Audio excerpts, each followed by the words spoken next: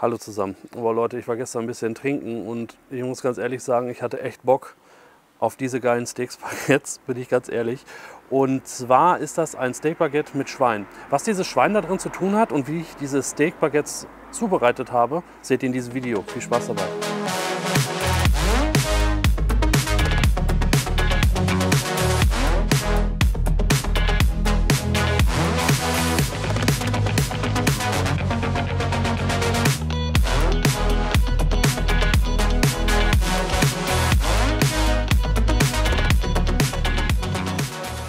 Ja, und das sind auch schon die Zutaten, die wir brauchen. Richtig schönes, deftiges Baguette, sage ich jetzt einfach mal. Baguette ist ein gutes Stichwort, das brauchen wir. Wir brauchen Salz, Pfeffer, ein bisschen Soße. Dann habe ich das Secreto. Secreto zeige ich euch gleich noch genau, was das genau ist. Dann ähm, Zwiebeln, Paprika und einen herzhaften Käse, und zwar Provolone. Da könnt ihr natürlich auch einen anderen Käse nehmen. Äh, der ist halt wirklich schön herzhaft, aber auch schön prägnant vom Geschmack her. Kann ich wirklich nur empfehlen. Und ein bisschen Butter das Secreto. Und zwar seht ihr das hier schon. Das ist so ein richtig schönes, flaches, langes Teil oder Muskelstück, sagen wir es mal eher. Es ist sehr fett durchzogen. Doch einige fragen sich sicherlich, wo kommt das dann vom Schwein her? Deswegen habe ich hier unseren Propaganden. Ähm, das Schweinchen, wenn man das so betrachtet, hier vorne ist halt der Vorderlauf, hier hinten ist der Nacken und hier hinten im hinteren Bereich, das heißt hier dieser Rückenmuskel, das ist das Secreto. Der ist halt sehr, sehr viel so ein bisschen, weil da ja auch der Speck in der Nähe ist, ähm, sehr mit Fett durchzogen und es wird kontraktionsmäßig, das heißt das äh, Schwein bewegt sich ja durch die Vorderläufe mittelmäßig beansprucht, aber dementsprechend ist es auch durch das Fett halt sehr aromatisch. Ja, genug der Theorie. Jetzt beginnen wir erstmal die Zutaten an zu schneiden. Der Vorteil ist, man braucht nicht sehr, sehr viel Vorbereitungszeit und es ist wie gesagt ein perfektes Gericht.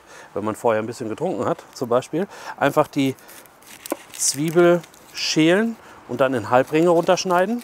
Bei der Paprika auch in äh, Streifen schneiden. Dazu einfach hier oben jetzt die Paprika rundherum einmal in der Mitte einschneiden und dann kann man die richtig schön so aufbrechen.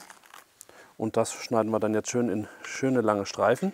Das Gemüse ist geschnitten und kommen wir jetzt zum Baguette. Ich nehme immer ganz gerne diese rustikalen Aufbackbaguettes, weil die knuspern dann gleich auf dem Grill nochmal richtig schön auf. Die müssen wir jetzt aufschneiden. Das heißt, ich halbiere das jetzt erstmal und schneide das dann in der Mitte auf. Und dann müssen wir das Ganze natürlich auch noch buttern.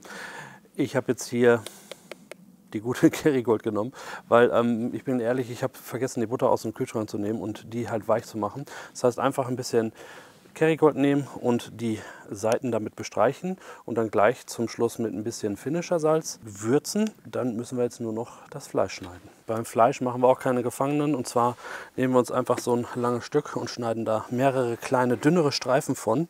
Und dann sind wirklich alle Vorbereitungen abgeschlossen und dann heißt es jetzt an den Grill gehen. Der Grill hat jetzt eine richtig schöne hohe indirekte Hitze. Und zwar habe ich das Setting wie folgt aufgebaut. Auf der rechten Seite haben wir jetzt eine Plancha liegen. Da braten wir jetzt gleich alle Zutaten drauf an. Hier habe ich die Baguettes in der Hand und die liegen nicht ohne Grund auf der Hand, denn die kommen jetzt hier in den indirekten Grillbereich. Da können jetzt so langsam auf Temperatur kommen und ja, dann schmilzt die Butter oder die gute Kerrygold schmilzt dann so ein bisschen und in der Zeit, wo das dann hier aufknuspert, bereiten wir hier auf dieser Seite jetzt die anderen Zutaten zu. Es ist wie gesagt alles richtig schön heiß. Wir nehmen jetzt einfach nur einen Tropfen Öl und darauf platzieren wir jetzt die Zwiebeln und braten die richtig schön an, damit die halt richtig schöne Röstaromen bekommen. Zwiebeln sind jetzt richtig schön knusprig angebraten, haben jetzt auch eine richtig schöne Farbe. Jetzt schieben wir alles beiseite und zwar in den hinteren linken Bereich. Da können die Zwiebeln erstmal ein bisschen verweilen. Ähm, die unteren werden jetzt natürlich ein bisschen nachgaren. Aber was wir jetzt machen, und zwar wir nehmen uns jetzt einfach den neu gewonnenen Platz und haben jetzt hier die Paprikastreifen. Die legen wir einfach mit drauf und die werden dann auch richtig schön mit angebraten.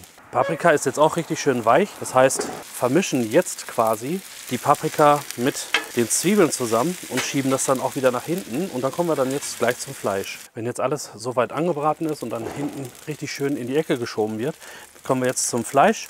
Und das legen wir jetzt einfach hier mit auf die Plancha drauf und verteilen das richtig schön, dass es richtig schöne Röstaromen bekommt. Der Geruch, der alleine, der jetzt hier hochkommt, der ist halt wirklich schon genial. Wie gesagt, das jetzt einmal nur kurz anbraten dann geht es gleich weiter. Ist jetzt alles miteinander vermischt und jetzt nehmen wir einfach ein bisschen Salz her und würzen das Ganze mit ein bisschen Salz und natürlich mit ein bisschen Pfeffer. Dann lassen wir das Ganze noch mal so zwei Minuten schön anbraten, bevor wir dann zum Käse kommen. Während das Ganze jetzt noch anbrät, nehmen wir jetzt hier einfach ein bisschen Soße und beträufeln die Oberseite und lassen das Ganze dann jetzt auch noch für weitere zwei, drei Minuten noch ziehen im indirekten Bereich. Ist jetzt soweit alles vorbereitet. Ich habe alles schön mittig gelegt. Ist richtig schön an Durchbutscheln. Und jetzt kommen wir zum Provolone. Also den Käse, den mag ich besonders gerne, weil wie gesagt, er ist halt schön mild, aber trotzdem herzhaft. Das einfach hier oben drauflegen und dann gleich die Hitze unten drunter ausmachen und den nächsten Brenner daneben, das heißt in dem Fall den mittleren Brenner, anmachen, damit der Käse gleich richtig schön schmilzt. Käse müsste jetzt geschmolzen sein. Genau, perfekt. Und jetzt teilen wir uns das Ganze auf.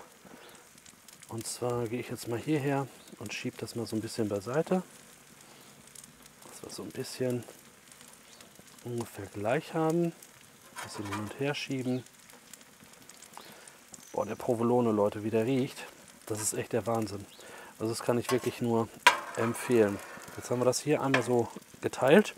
Jetzt nehme ich mir eine Hälfte vom Baguette zur Hand und zwar mit der Soße nach oben. Das ist ja die Oberseite. Und jetzt gehe ich her und nehme einfach das und klappe das hier so drauf, dass der Käse halt wirklich oben drauf ist. Und wenn was daneben fällt, ist es auch vollkommen egal. Das, was jetzt noch nämlich mit runtergefallen ist, das nehmt ihr jetzt einfach her